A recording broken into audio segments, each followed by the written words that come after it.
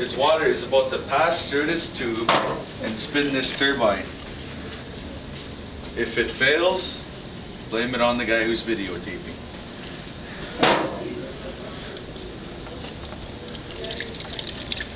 Oh, it's working. That check that out. Hey, that's going on YouTube. What kind of alternative energy is this? Hydroelectric water, whatever you want to call it. Could this be applicable for other alternative energy? Yes, Like what?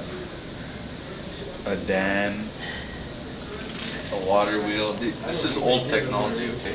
I'm just showing some old technology here. Where did that kind of technology come from? Rome. Rome? Mhm. Did the Ojibways or natives have it? Well, that I'm not sure of, but I know it's originated from Rome. Okay. And what It's happened? mostly used in uh, flour mills and stuff like that to start out. And there's two kinds of uh, water wheels. The one we have here is the kind where water actually falls on it to spin it, which is a more uh, efficient way.